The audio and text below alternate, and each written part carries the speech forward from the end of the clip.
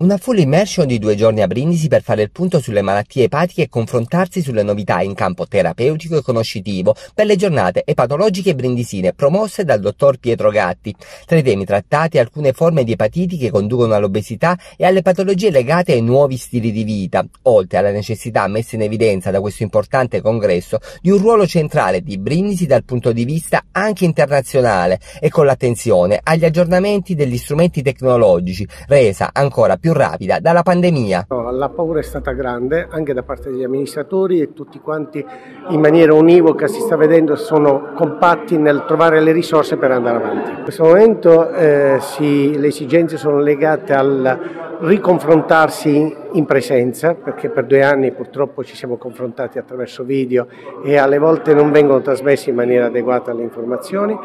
riconfrontarsi in presenza, arrivare a delle sintesi per dare il giusto trattamento ad ogni patologia. È un momento di innovazione tecnologica, di innovazione di nuovi farmaci e dobbiamo essere pronti a utilizzare il meglio per i nostri pazienti. Brindisi eh, demograficamente è svantaggiato nel senso che eh, numericamente i medici sono oh, meno numerosi rispetto ad altre realtà, deve eh, sicuramente cercare nell'attrattività che si concretizza nell'adeguamento tecnologico e nella eh, possibilità di erogare prestazioni di qualità di diventare attrattivi e gli eventi di questo tipo sono diretti proprio in quel senso.